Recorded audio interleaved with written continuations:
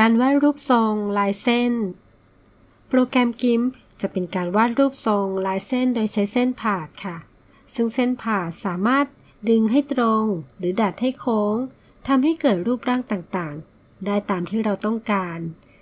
เส้นผ่าคือเส้นที่วาดเชื่อมต่อกันจากจุดหนึ่งไปยังจุดหนึ่งต่อกันไป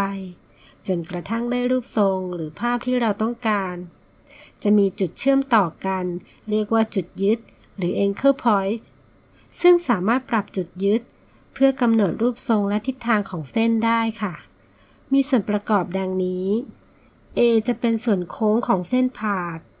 ส่วน B เป็นจุดปรับความโค้ง สามารถปรับทิศทางความโค้งของเส้นผ่าได้ค่ะ ช่วง C จะเป็นแขนปรับความโค้ง เป็นแขนที่ยืดออกมาจากจุดยึด D เป็นจุดยึดให้เส้นเชื่อมต่อถึงกัน E เป็นจุดปลายของเส้นผ่าโดยทั่วไปเราจะแบ่งเส้นออกเป็น 2 ประเภท คือเส้นผ่าแบบเปิด Open p a t h และเส้นผ่าแบบปิด Close p a t h มีลักษณะแตกต่างกันดังนี้ค่ะ ถ้าเป็นเส้นผ่าแบบเปิด Open p a t h จะเป็นเส้นผ่าที่จุดปลายทั้งสองด้านไม่บรรจบกัน แต่ถ้าเป็นเส้นผ่าแบบปิด Close p a t h เป็นเส้นผ่าที่จุดปลายทั้งสองด้านมาบรรจบกัน เป็นจุดเดียวกันค่ะ เนื่องจากเส้นผ่าที่เราสร้างขึ้น อาจประกอบด้วยส่วนของเส้นตรง หรือเส้นโค้งก็ได้ ฉะนั้นจุดยึดที่เกิดขึ้นจะแบ่งออกได้เป็นสองชนิด ได้แก่ จุดยึดส่วนโค้ง หรือเราเรียกว่า smooth point และจุดยึดส่วนมุม corner point จุดยึดส่วนโค้ง smooth point เป็นจุดที่เชื่อมต่อระหว่างเส้นโค้งกับเส้นโค้งค่ะ แต่จุดยึดส่วนมุม corner point เป็นจุดที่เชื่อมต่อระหว่างเส้นตรงกับเส้นตรง หรือเส้นโค้งกับเส้น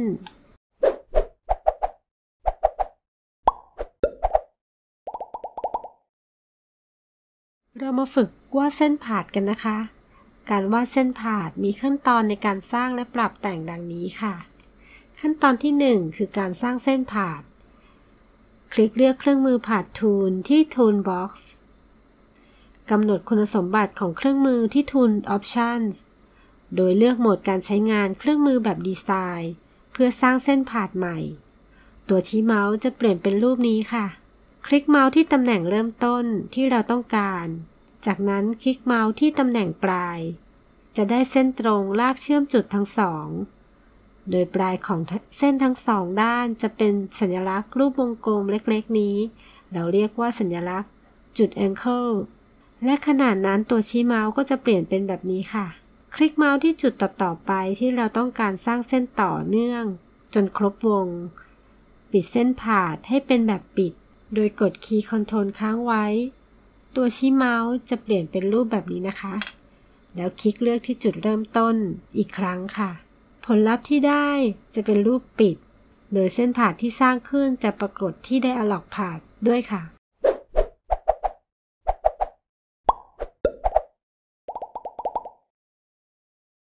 ขั้นตอนที่ 2 การเพิ่มจุดรอยต่อของเส้นผ่าเราจะเห็นได้ว่าลักษณะของเส้นผ่าที่มีรอยต่อของเส้นผ่าจะมีอยู่ด้วยกัน 3 จุด ต่อไปเราจะสามารถเพิ่มจุดรอยต่อเหล่านี้ได้ โดยเปลี่ยนโหมดของเครื่องมือผาดทูล เป็นแบบ Edit เพื่อแก้ไขโดยการเพิ่มจุด Angle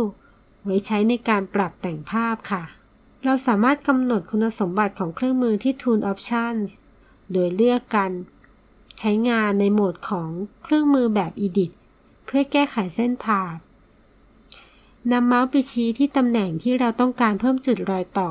บนเส้นผ่าของเรา ตัวชี้เมาส์จะเป็นรูปนี้นะคะ จากนั้นคลิกเมาส์เพื่อเพิ่มจุด จะได้จุดรอยต่อที่เพิ่มขึ้น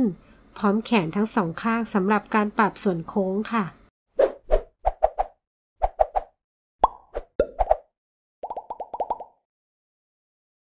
ขั้นที่ 3 จะเป็นการเคลื่อนย้ายจุดรอยต่อของเส้นผ่าการเคลื่อนย้ายจุดรอยต่อของเส้นผ่าจะอาศัยการทำงานร่วมกับจุดแองเกิลโดยตรง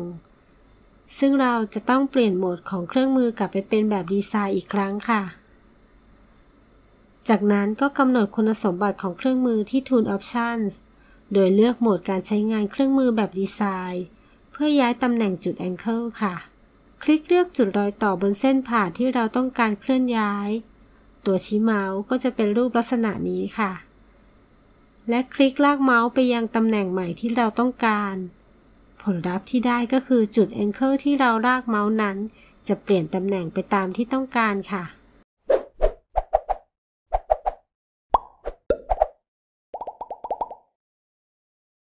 ขั้นตอนที่ 4 ลบจุดรอยต่อของเส้นผ่าในขณะที่เรากำลังทำงานกับเส้นผ่าอยู่นั้น ถ้าหากเกิดการผิดพลาด เช่น วาดเส้นในตำแหน่งที่ผิด วางจุดแองเกิลไม่ถูกตามแบบที่คิดไว้ เราสามารถทำการแก้ไขได้โดยการลบจุดรอยต่อของเส้น หรือลบจุดแองเกิลนั่นเองค่ะ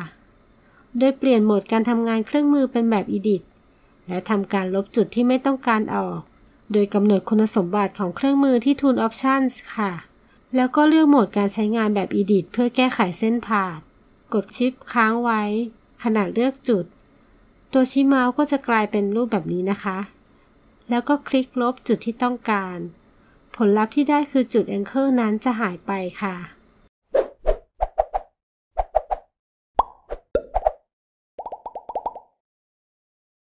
ขั้นที่ 5 การปรับส่วนโค้งของเส้นผ่าด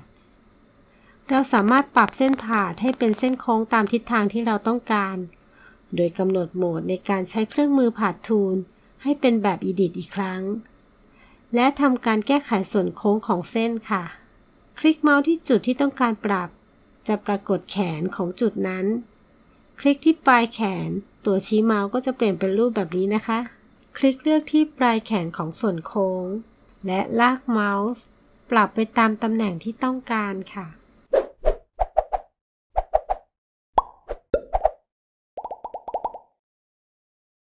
ในการปรับเส้นผ่านในแต่ละขั้นตอน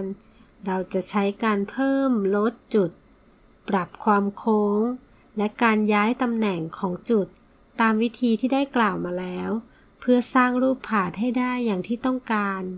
การเคลื่อนย้ายผาด เราสามารถเคลื่อนย้ายผาดทั้งชิ้นได้ โดยกำหนดโหมดในการใช้เครื่องมือผาดทูล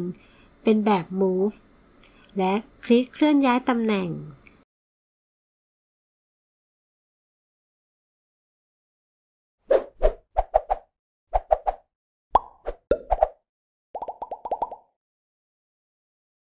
เราสามารถกำหนดคุณสมบัติเพิ่มเติมของเครื่องมือผ่าทูลได้ที่ Tool Options เลือกโหมดการใช้งานเครื่องมือ ไม่ว่าจะเป็น Design Edit Move ได้ที่ในส่วนของ Edit Mode ค่ะ ถ้าจะกำหนดให้สร้างเส้นผ่าเป็นเส้นตรง คลิกเลือกที่ Polygonal หรือคลิกเพื่อสร้างการเลือกพื้นที่จากผ่าที่เราสร้าง เลือก Selection from ผ่าน คลิกเพื่อกำหนดการเติมสีให้กับเส้นผ่านก็ให้คลิกที่ Stroke ผ่านค่ะ ในขณะที่เราวาดรูปในโหมดของดีไซน์เราสามารถเปลี่ยนโหมดการใช้งานให้เป็นโหมดต่างๆ โดยกด Ctrl เพื่อเปลี่ยนเป็นโหมด Edit สำหรับเพิ่มจุด Angle และปรับความโค้ง กด Ctrl และ Shift เพื่อลบจุด Angle ค่ะ กด Alternate เพื่อเปลี่ยนเป็นโหมด Move สำหรับเคลื่อนย้ายชิ้นผ่าดค่ะ การทำงานกับเส้นผ่าดที่วาดขึ้น เมื่อเราทำการวาดชิ้นผ่าดที่ต้องการแล้ว ชิ้นผ่าที่ได้จะไปปรากฏอยู่ที่ Dialog Pass เพื่อให้เราสามารถจัดการกับผ่านได้ง่าย ๆ ค่ะ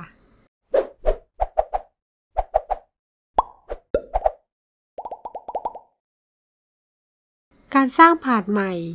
ในกรณีที่เราต้องการสร้างเส้นผานใหม่ สามารถทำได้โดยการคลิกที่ปุ่ม New Path ซึ่งการทำงานนั้นก็จะคล้ายกับการสร้างเลเยอร์ใหม่ให้กับชิ้นงานค่ะ โดยคลิกเลือกที่ Create a new path จะปรากฏหน้าต่าง New Path ให้เราตั้งชื่อของภาพที่จะสร้าง คลิกที่ปุ่มโอเคผาดใหม่ที่ต้องการก็จะปรากฏทันทีค่ะ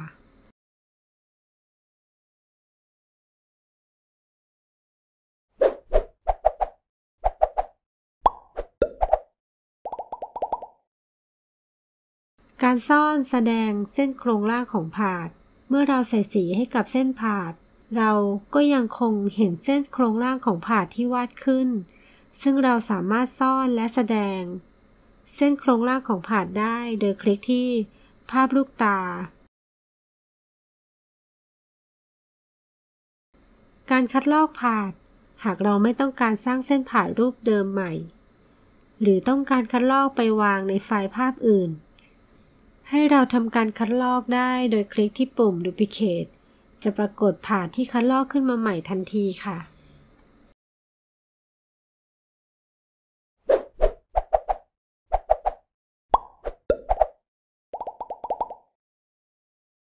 การเปลี่ยนลำดับผาด